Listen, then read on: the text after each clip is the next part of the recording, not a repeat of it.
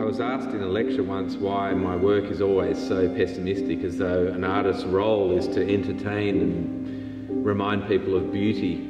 People talk a lot about the magic of making paintings, but it really is just hard work. It's big, they're heavy, and this painting, this newest work in my studio, is one of the biggest. It's four huge panels across one big white wall. There's a lot of space to fill and a lot of ideas to try and come up with to fill that space. The year 2020 started for me in a shocking way. Massive bushfires coming from the south of our home and another equally massive fire bearing down on us from the north was sort of squashed in between, burning leaves falling on the roof.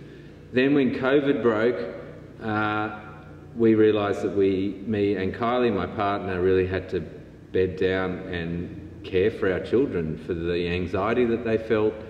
And I thought more then, more broadly, about the sense of collective anxiety that the planet has been facing this mind-bendingly massive crises for some years now.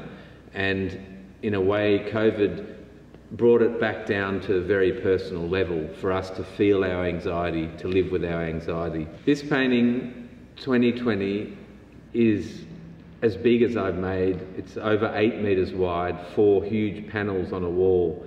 Started with a, a literal life sitting with a model uh, and the character of Santa Claus sitting, teetering on the edge, ignoring the fact that the world is falling apart around him.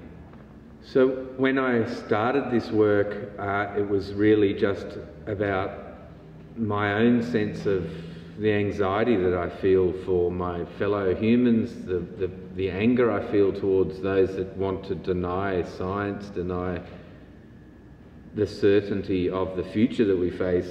And I thought I want to make something really, really big.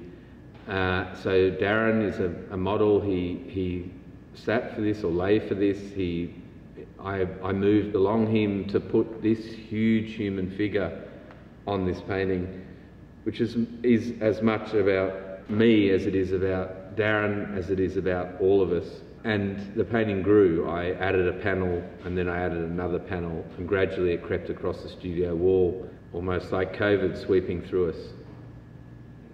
By putting esoteric, almost mythical like figures, a monster, the sense of something monstrous around uh, the very raw, simple white linen flesh of the figure, the human figure, but intermingling that with the really mundane objects of shoes. The, the painting actually has legs, it has a leg on either side.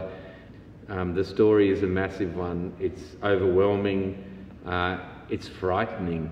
And I think COVID in 2020, this year, is a, a, a precursor in a sense it's a forewarning of the way we will feel. Only the anxiety that generations in front of us will face will be amplified a hundredfold as, as ecosystems break down and the planet falls apart. It's also said that the great works of art have been made from the, the largest adversity when communities and humans face war or face upheaval and now in 2020, every human being on the face of the earth faces a pretty certainly bleak future at this point.